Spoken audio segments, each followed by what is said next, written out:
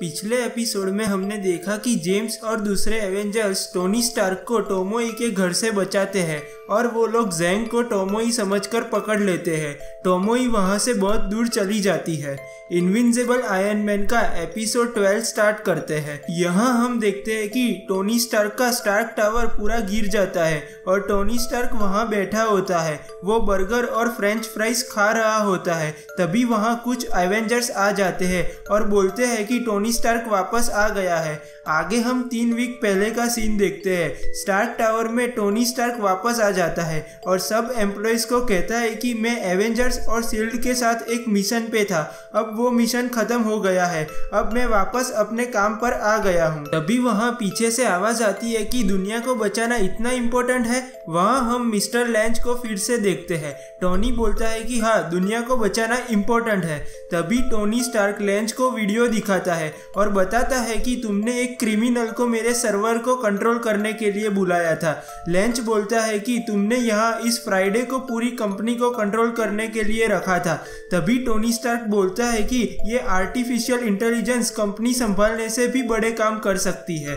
तभी Tony Stark वहाँ lens को उसकी गैर हाजिरी में किए गए कंपनी के कामों के लिए बोलता है और उसकी बेइज्जती करता है। उतना सुनते ही लेंच और दूसरे बोर्ड के मेंबर वहाँ से चले जाते हैं और टोनी स्टार्क जेन वॉटसन से उनकी जॉब के बारे में बात करता है। तभी हम देखते हैं कि टोनी स्टार्क डॉक्टर अमारा से मिलने के लिए एमआईटी यूनिवर्सिटी पहुँच जाता है। टोनी स्टार्क डॉक्टर अमारा को मिलने के लिए फूल ले जाता है और वो डॉक्टर अमारा से माफ़ी माँगता है। तभी वो दूसरी लेडी को देखता है और डॉक्टर अमारा से उसके बारे में पूछता है। तभी वो लेडी टोनी को कहती है कि मुझे नहीं पता वो कौन है और मैं कभी उससे नहीं मिली हूँ। तभी वो लेडी टोनी स्टार्क को देख के उसकी तस्वीर खींचने लगती है और कहती है कि मैं आपकी बड़ी फ़ैन हूँ। टोनी फूल उनको दे देता है और वहाँ से चला जाता है। वहाँ आगे टोनी एमआईटी के प्रोफेसर से डॉक्टर अमारा के बारे में पूछताछ करता है। तभी प्रोफेसर कहते हैं कि मुझे लगा कि तुम रीरी के बारे में पूछने आए होगे। तभी टोनी स्टार्क कहता है कि वो कौन है? प्रोफेसर कहते हैं कि उसने तुम्हारे जैसा ही आर्मर बनाया है। आगे हम वहाँ शिकागो का सीन देखते हैं। वहाँ रीरी और उसकी मोम कुछ बात कर रहे होते हैं। तभी उसकी मोम कहती है कि मुझे सब कुछ बताओ। रीरी उसकी मोम को बताती है कि एमआईटी वालों को ऐसा लगता है कि मैंने ये चुराया है और उन्होंने मेरे पे केस भी किया है।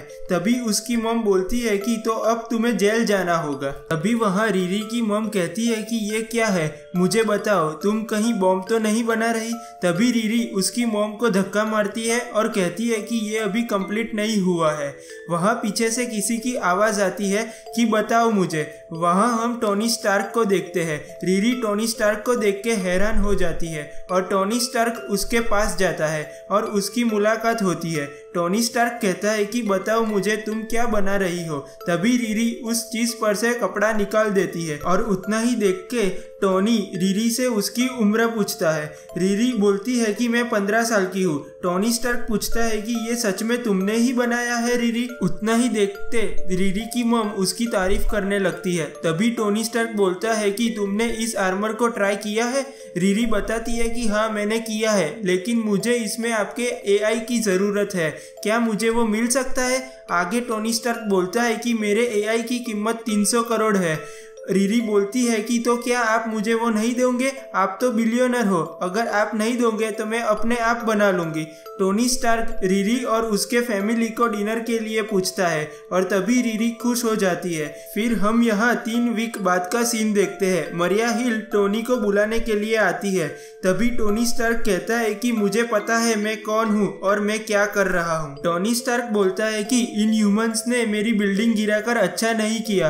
अब उनको वॉर के लिए तैयार रहना पड़ेगा। और टोनी स्टार्क गुस्से में वहाँ से उतरता है और मरिया हिल से कहता है कि, तुम्हें पता है, मैं कुछ ही पलों में पूरी इन ह्यूमंस और उनकी फैमिली को दुनिया से मिटा सकता हूँ। पर इससे मेरा फ्रेंड जेम्स मुझे वापस नहीं मिल सकता। तभी वहाँ हम डॉक्टर डूम को देखते हैं। वो आके बोलते हैं कि, मुझे पता है, अब तुम्हें क्या करना चाहिए? उतना ही बोलते डॉक्टर डूम अपना हाथ टोनी स्टार्क की ओर बढ़ाते हैं। तभी टोनी उनके नज़दीक आता है और डॉक्टर डूम और टोनी स्टार्क मैजिकल पावर से कहीं टेलीपोर्ट हो जाते हैं।